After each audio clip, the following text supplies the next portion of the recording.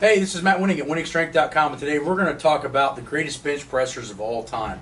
I'm going to cover the ones that I think, so down below, leave a comment on the ones you think, and let's get to it.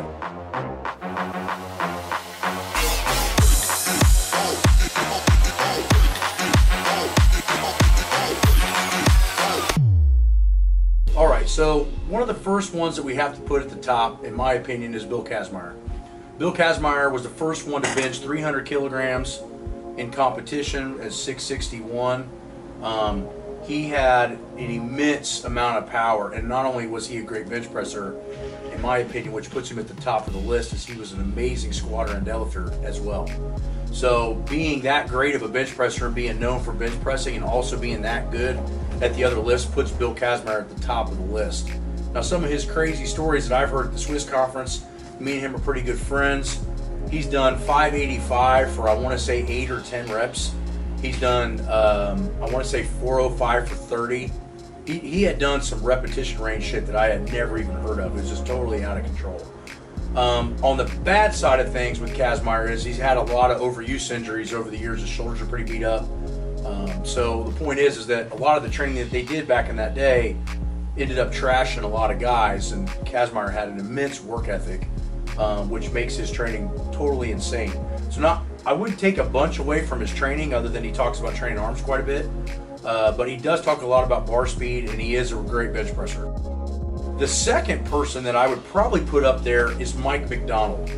Mike MacDonald, for those of you that don't know, was one of the first guys to bench 600 at under 220 body weight.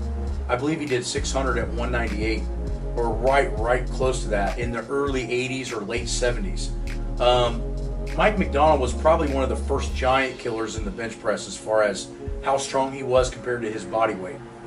Now, the other things about Mike MacDonald that I would say on the opposite side I'm really not a huge fan of is his technique was really wide.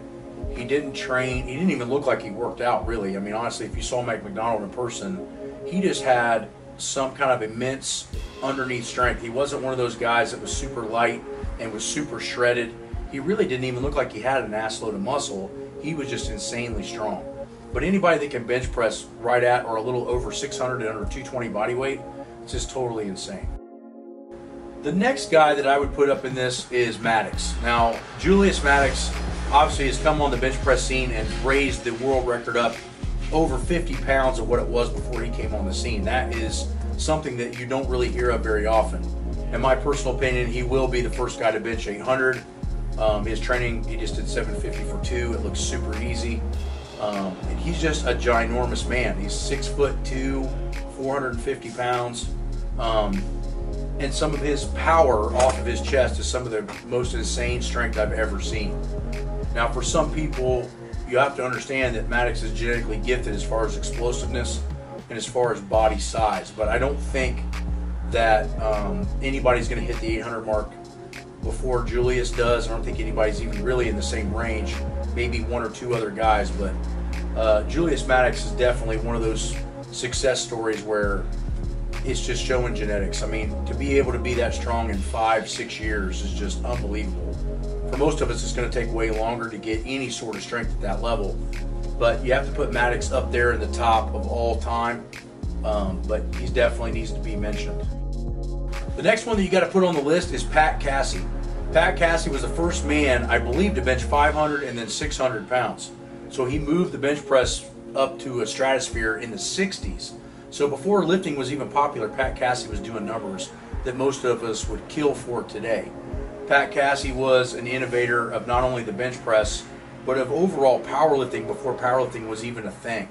Um, in my opinion, Pat Casey should be ranked up in the top two or three just based on the simple fact that he was an originator of bench pressing massive weights. Um, I like the fact that he tried to put out a decent amount of information back in the day before it was popular. Um, but he was just a monstrous dude. I think he was somewhere around 280 to 310 pounds. Had a lot of muscle. He was just a genetic freak back in the day. Um, so Pat Casey definitely needs to be up in that mention as well. Ted Arcidi is another guy that needs to be up in that range. Ted Arcidi is one of those dudes that um, I believe he was the first guy to bench over 700, even in a single ply shirt. But I'm pretty sure he had over a 670 pound raw bench as well. uh, Ted Arcidi was bringing a lot of popularity into the bench press, and like Kazmaier, Ted Arcidi and Bill Kazmaier kind of went into the wrestling ring in the 80s to kind of start bringing powerlifting into the mainstream.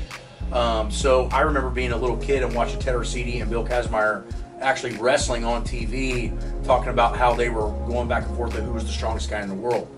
Uh, Ted Arcidi ended up being a little bit better of a bench presser than Bill Kazmaier as far as numbers go, but I don't believe that Ted Arcidi was as great of an all-around powerlifter as Bill Kazmaier. That's why I wouldn't rank him as high.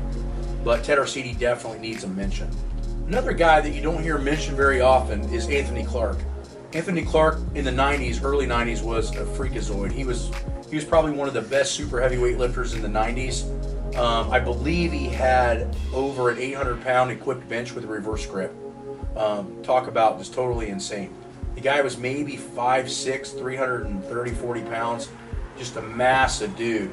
Um, ended up dying super young. Imagine that for being as big as he was. But I believe that he had way over 600 pound raw benches. I know that he had done some pretty legit lifting back in the 90s, but uh, that reverse grip, holding some, holding 800 pounds reverse grip, whether you got equipment on or not, is just totally insane. So, uh, Anthony Clark, if you don't know who that is, look him up. He's a pretty interesting guy.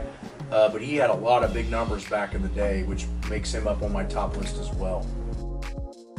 So this was my wrap up of who I think are the best bench pressers of all time.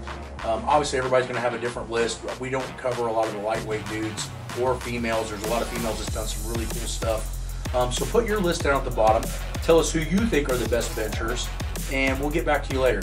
So if you got any questions on bench pressing, go get the powerlifting manual off the website or have us make you a custom workout with online coaching.